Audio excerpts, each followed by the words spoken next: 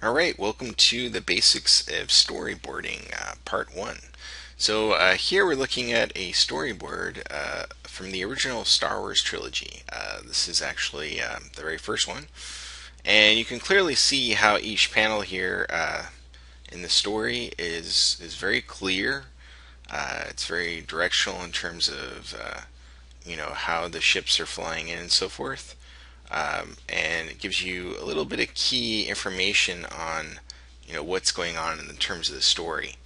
Uh, basically, the job of the storyboard artist is to tell the story as clearly as possible. So if we look here, you know there is a lot of detail in certain areas, but uh, other areas are left you know sort of open-ended. Uh, even the gigantic planet here uh, which is actually the Death Star, uh, doesn't have every single little detail on there.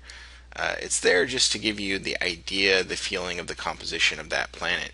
So you don't have to have every detail. The idea is clarity. So in terms of the composition here. Uh, the next thing is to show camera angle and direction of action uh, for people or camera. In this instance, the action of the ships flying in and so forth.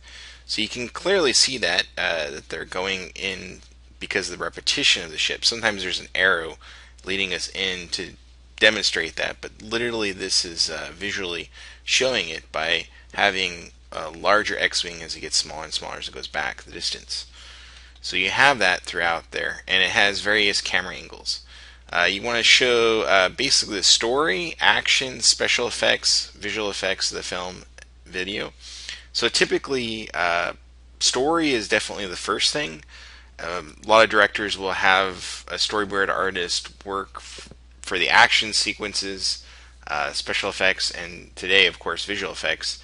Uh, however, some directors don't want the entire storyboard for the entire movie. Now, uh, big, heavy visual effects films, like for example, um, The Avengers, will have a storyboard for almost every scene. Because technically, everything has to be illustrated out before any production can begin.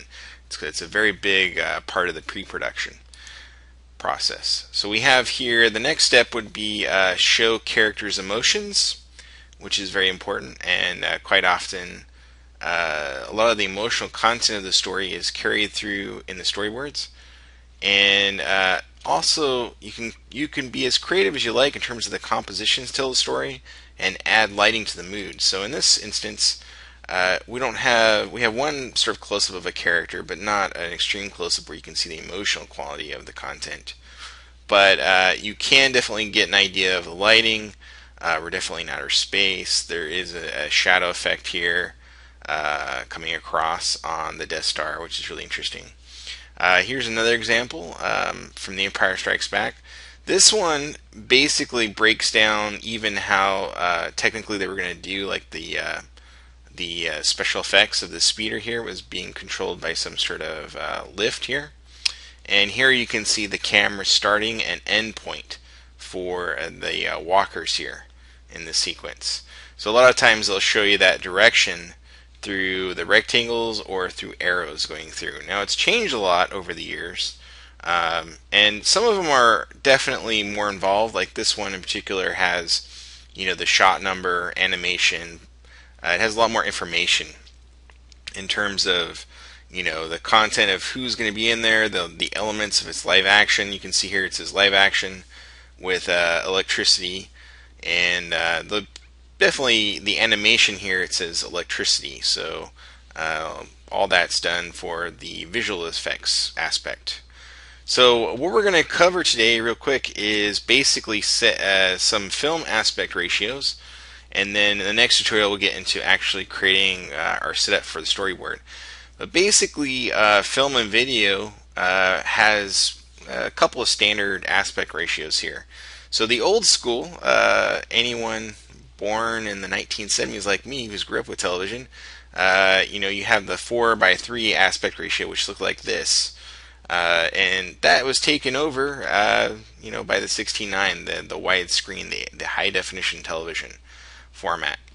Um, in terms of cinema, we have the 2.391 and the 2.351, which is the anamorphic or widescreen cinema, also known as uh, Blu-ray, Blu-ray, the 1920 by 800.